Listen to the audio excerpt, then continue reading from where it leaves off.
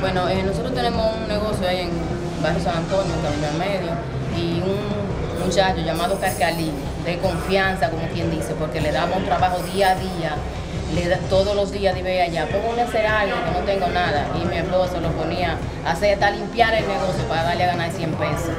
Y vio los movimientos, se asesoró de todo, y luego penetró una noche cualquiera ahí, penetró, duró como desde el día 15 hasta el día 20 que nosotros nos dimos cuenta que nos estaban faltando cosas, día tras día.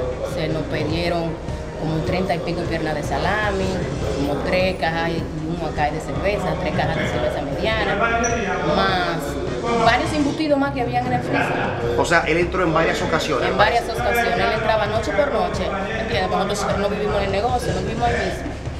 Y después nosotros cerrábamos, salíamos, luego él iba porque iba confianza, porque sabía por dónde entrar y por dónde salir, porque él trabajaba con nosotros, ¿entiendes? Él, mi esposo ¿Él lo fue ponía- empleado de ustedes? Empleado no, si no, tú sabes que chiripero y eh, mi esposo lo ponía a hacer cualquier cosa, tú sabes, hasta botar basura lo ponía ahí con tal de que se ganara los 100 pesos, para darle a ganar los 100 pesos, y se aprovechó de eso, sabía dónde teníamos nosotros, tú sabes, el, el freezer, donde estaban los embustidos, donde estaban todo, que incluso nosotros nos acostumbramos a poner cerveza en ese freezer.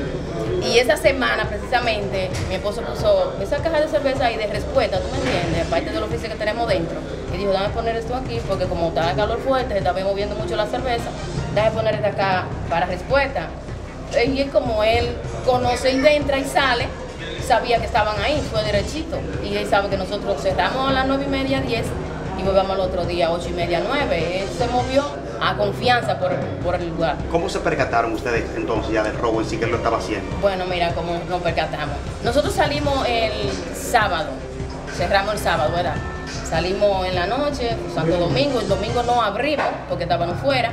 El lunes cuando llegamos, dice mi esposo, eh, vieja, pero el, el freezer se dañó, el freezer de atrás no está trabajando. Y yo, "Ah". cuando él va, se, se asegura del freezer, bueno, pues el freezer está desconectado porque está dañado, ¿verdad? Yo no abro el freezer, ella es el que se, se penetra, de, se asegura de que el freezer está desconectado, dañado. Cuando busca un técnico, lo revisa, el freezer está dañado. Luego, ayer, voy yo a sacar los productos que tengo en el freezer, porque el freezer está dañado, ¿verdad? Cuando yo voy a sacarlo, le digo yo, vieja, ¿dónde están las cervezas que estaban en el freezer? No me habían tres, yo la pasé para acá. Y el salami, ¿dónde lo pusiste? Porque no era espacio, ¿dónde lo pusiste? Dice, pero no me habían dos piernas de salami ahí. Digo yo, viejo, pero ahí estaba tú el salami, lo que nosotros compramos por oferta de, de 10 uno, que nos dan 11 de cada, de cada tipo de salami, indubeca estelar y indubeca normal, chuleta con hueso, jamoneta y todo eso. Y el estaba, que las cervezas estaban encima de tanto salami de vaca. Y él se queda, se queda así como pensando y no, no contesta, no reacciona. Después se siente y dice, vea, pero verdad, ¿y dónde están las cervezas y el salami que estaba ahí? Entonces fue que entró a Scramar a buscar, entró a buscar los videos. Entonces ahí fue que nos captamos de que en verdad nos faltaba todo eso. Finalmente llevándolo ya dinero. No, no, dinero no, porque O sea, llevando, llevando la- eh, esas mercancías a dinero, ¿qué tanto la llevaron? Bueno, como unos 30 mil y pico de pesos, porque habían solamente desde mediana normal a tres cajas, y está costando 3 mil y pico de pesos, que todo el mundo lo sabe cómo está la cerveza, más un acal de jumbo normal que había, y como 30 y pico piernas salami, aparte de chuleta, con, sin hueso, cotillita, carne salada, embutido, de todo, ahí había, todos los embutidos los tenemos ahí. ¿Qué le pide a las autoridades? Bueno, no, que se haga justicia, porque nosotros la gente pobre que queremos salir adelante, que queremos trabajar, gente seria que quiere trabajar aquí en este país, no podemos trabajar.